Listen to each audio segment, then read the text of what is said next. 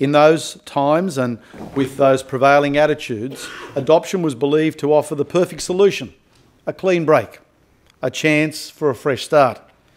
It was considered to be in the best interests of everyone. But the problem was that this policy ignored the fundamental bond between mother and child and the lifelong trauma caused when that bond is prematurely and brutally severed. In the lead up to today's apology, the Minister for Family and Community Services, the Honourable Pru Goward MP, met with many mothers, fathers, and people adopted as children to hear their personal accounts of how the experience of adoption had affected their lives. They were heartbreaking stories of loss and grief. These deeply personal and moving recollections reinforced the Senate Committee's conclusion that forced adoption practices were wide ranging and common. One mother told of being lied to about the death of her baby and of the torment of living with the lie until she finally learned, years later, that her son in fact was alive. Other mothers spoke of being drugged and sedated to impair both their judgment and their memories of giving birth, and they recounted other dehumanising treatment. An adopted man told of uncovering a desperate and anguished letter from his mother sent to authorities pleading for her son to be returned to her. A father spoke movingly of the disenfranchisement of his fatherhood as authorities steadfastly ignored his wishes to parent his child. All felt that their basic humanity had been violated, trampled, and ignored. Some women felt that they had been coerced into giving consent and that their right to refuse or revoke consent was deliberately concealed from them. Although no two experiences were the same, they all shared a single claim.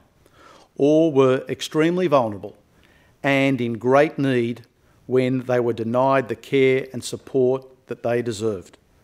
As a parent, I find it almost impossible to comprehend the pain caused by such treatment, and equally incomprehensible is the resilience of those who lived and continue to live with the wounds inflicted. For some, it remains a constant struggle.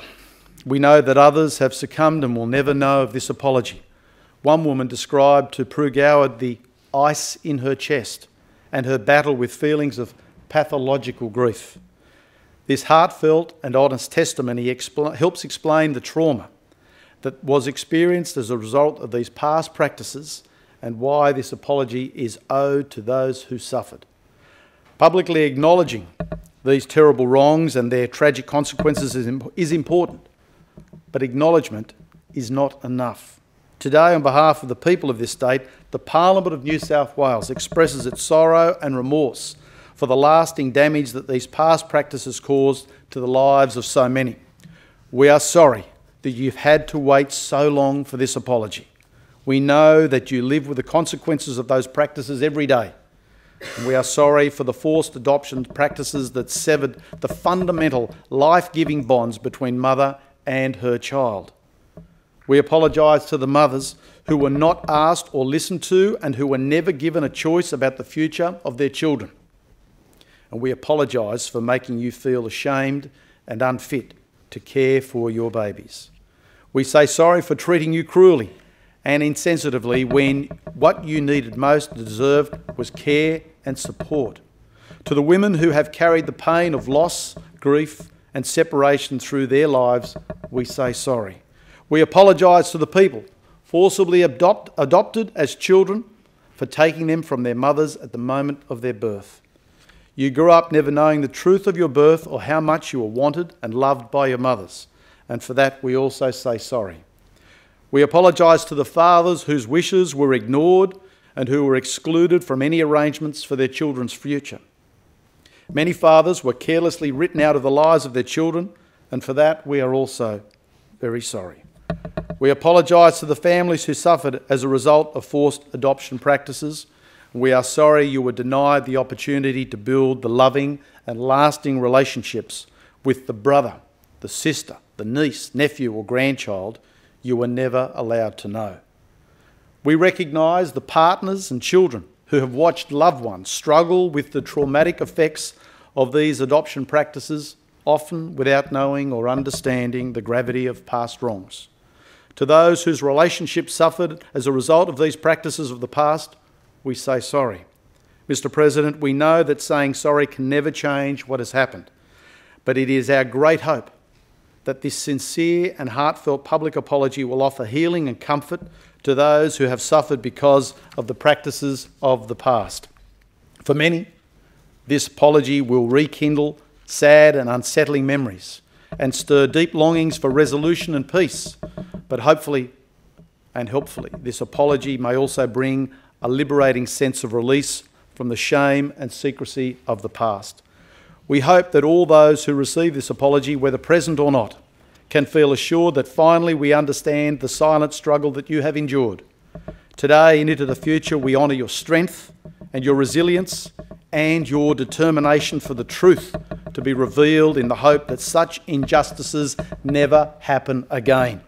A striking feature of many of the mothers who have spoken out about the past adoption practices is that, above anything they seek for themselves from this formal apology, they wanted solace for the children taken from them. They wanted their adult children to know that they were loved and not abandoned. We hope that this apology helps adopted people make that journey.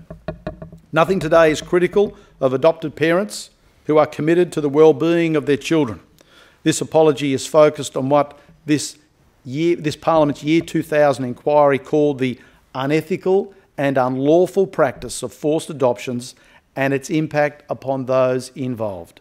Today, more than in mere words, we want mothers, fathers, and those who are adopted and their families to know through concrete measures that we are sincere about redressing the wrongs of the past.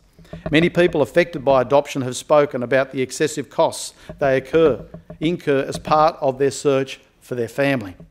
To help lessen financial barriers to, to family reunion, the Department of Family and Community Services will waive the fees it charges for the authority a parent or adopted person needs to obtain their adoption information from other state government departments.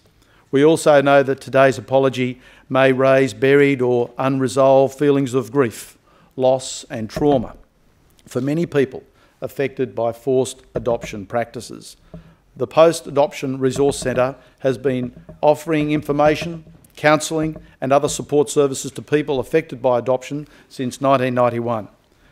We will increase funding to this valuable service with a particular focus on the delivery of services to those in rural and regional areas who are affected by past forced adoption practices. I'd like to express my gratitude to the men and women who have shared their deeply personal experiences, whether in writing or in person, with the Premier, Minister Goward and other members of Parliament. Your insights have been moving and invaluable. I also want to thank the many people who have travelled from across our state to be here today to receive this apology. I thank all of you for your generosity of spirit in listening to our words of regret, sorrow and remorse, words that are long overdue. And I hope your journey of recovery and healing is made easier by what you have heard here today.